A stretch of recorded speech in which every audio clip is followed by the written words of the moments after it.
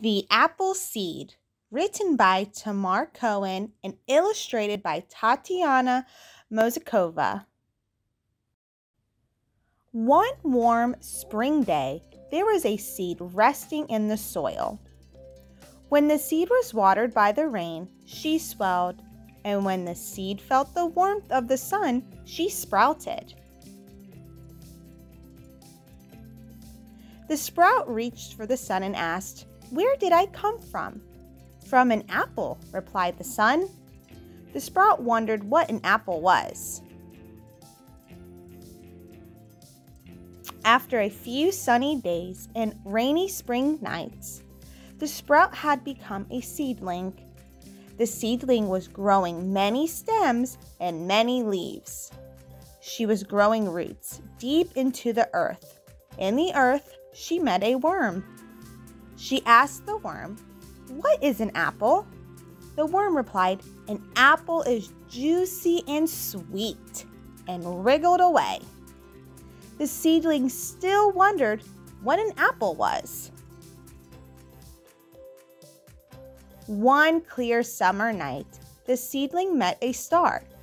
She asked the star, What is an apple?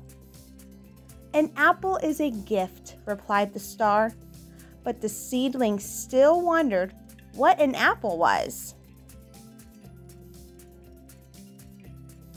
After the hot summer, the seedling had become a little tree.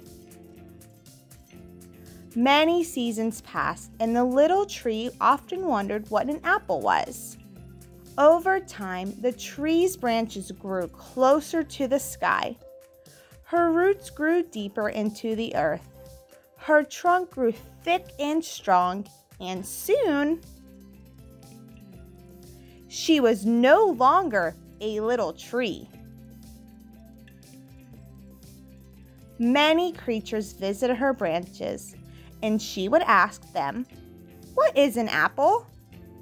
The bird said, An apple is heavy. The squirrel replied, An apple is crisp.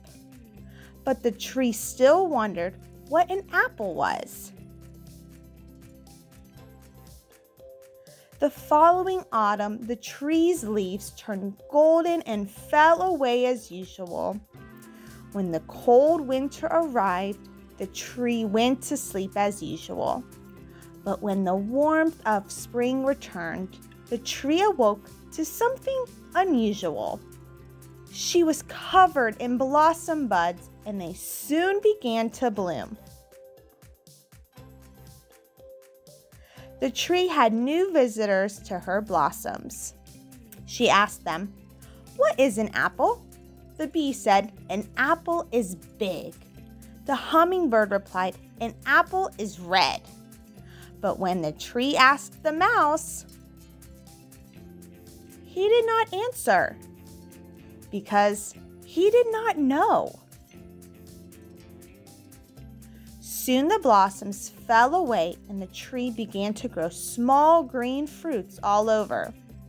As summer approached, the tree felt the fruits grow big and heavy. She felt them grow crisp and juicy. And when the summer was hot, she felt her fruits grow red and sweet.